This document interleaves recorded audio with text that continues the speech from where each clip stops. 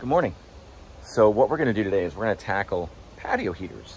Um, this one is just one of those, you know, $100, $150 models. You can see them everywhere, BJ's, Home Depot, most places sell them. I have another one that's in the garage. It's a little bit of a newer model um, that works awesome. Um, however, this one has gotten quite temperamental over the years. And so I've gone through and I've done a little diagnosis on it. There was a couple things actually wrong with it. Um, so one of them was that the regulator went bad. So I'm going to show you how to change out the regulator on this. And the other thing I'm going to do actually is I'm going to bypass the thermocouple on this one because that has always been a huge pain point on this thing. Um, just ever since the second time I tried to use it. Um, so again, uh, we'll go through and walk through on how to do that. So first things first, you've got your regulator. This is just a five foot regulator hose. So you can get those on Amazon. They're like 15 bucks. Um, it's a standard propane regulator. And all you need is, this is an 11 16ths. This is a three quarter. So that way you hold on here while you loosen this off. Once you break it real quick, just break it free, it can come off by hand and you can reach in here. There's enough space behind the panel here to get in there with, um, with your hands to screw it down. And then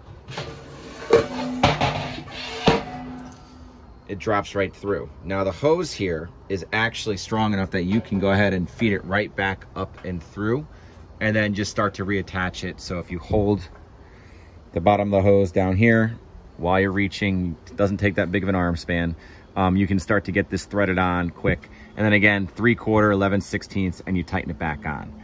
The next thing we're gonna do is talk about the thermocouple. You can have a bad tilt switch, which is right here. Um, and I've known people to bypass that either by just connecting these, uh, these wires together um, however, I like the idea of a tilt switch, so what I've done here is these were a little bit loose, um, or at least one of them was, so I went and you can see I put a new crimp connection on there, and now these are nice and tight on the tilt switch, so I don't have to worry about any uh, faults. This operates very similar to like your RIO switch, your reverse implement operation switch that you'll see on like a John Deere tractor um, or any other kind of uh, rider. That's the button you have to push before you can put it in reverse so the blades stay engaged. Um, I did bypass it on that, but for different reasons. But let's get into the next thing here, which is bypassing the thermocouple. All right, so now this next section might scare some people, and I'm sure there's going to be if people comment, uh, you know, oh, that's you know, it's it's a safety thing. Why are you taking it out? If you're not stupid about it and you're smart and you're paying attention to these types of things, it's not going to be an issue. Um, so, again, propane's heavier than air. Yes, it sinks, but Removing the thermocouple is just what I'm gonna do here. It's gonna work for me. I could replace it and do all new valve stuff, but thermocouples to me are a headache on these things, so it's a bypass. So first things first, you can get yourself a pair of pliers to hook on to this little nut right here, this brass nut. This will come off, and then you can pop it out of the way. Boom. 13 millimeter. I did it on a uh, a deep socket so I could fit it over. This will pop off. It did on mine. I've had this for 10 years. Inside of here, you will find the thermocouple. I'll show you that right now. It'll be this little guy. And what you're gonna be staring at is this. And so the easiest way to get that out is you get a nice pair of pliers, you latch it onto this metal part, and I'll show you what it looks like in here and it will spin freely in there. It sits there just like that. It will spin freely, but what I've done is I did a little bit of twisting on it back and forth and pulled. It might take a couple of attempts because it'll slip off. There's not a lot of spots to grip it, but it does pull out pretty easily. Once you have this out, you will see it will actually have the spring over it as well as this little guy here will be over the top. So this all kind of connects together. The spring is compressed down and this guy is sitting right on top of the spring. So you got spring and the cap. This cap is tied onto the little ball here. It's just snapped on. And again, you hold on to this, pair of pliers, you grab the cap right here. You can see where I've mangled mine. And you just twist and back and forth a little bit and pull, and it pops off. Done. Now we reinstall. You just tuck that guy back in there. Put your cap back on.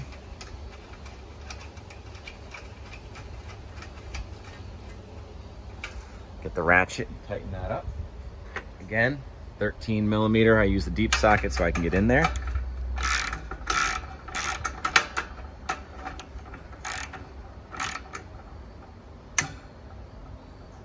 There we go. Reattach.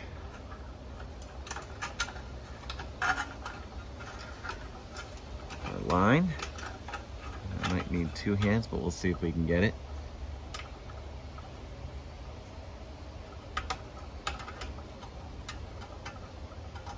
There we go. Perfect. I might need two hands for this, so let me pause the video, I'll come back. Again, get your pliers, and you just come on here and tighten this brass nut back on once it's in.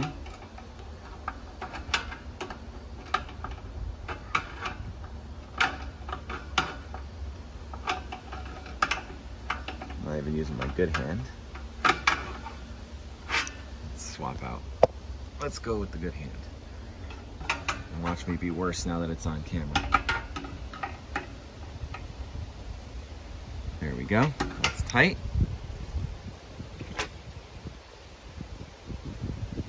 Back in place. All right, we're back in the front. Left that open just in case, for whatever reason, something didn't go right. However, tilt switch is still in place. We just come over here. Don't have to worry about the pilot anymore. You can go right. You hear the gas.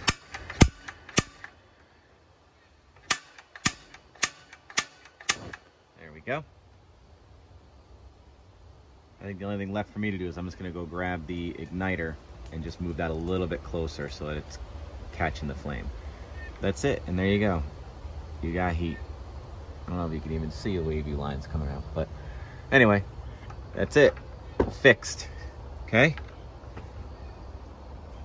You don't have to like, you don't have to subscribe. Again, this is just another one of my quick things, one of those items around the house that's been bothering me. And it actually happens every year um, because I really only use this once a year for the big Halloween party. Then I use the good one that I have in the garage for when I'm having beers with my buddies in the driveway or whatever and it's cold out. Um, so this one kind of gets, gets put away in storage till then. So this is going to be awesome that it's fixed. I don't have to keep coming around to turn it back on and fight with it all night in order to just get it to work. So awesome. Save a little time, save a little money. Again, I did do the regulator valve, but that was shot and I knew that. And that was part of my diagnosis. So um, hope you learned something. Take care.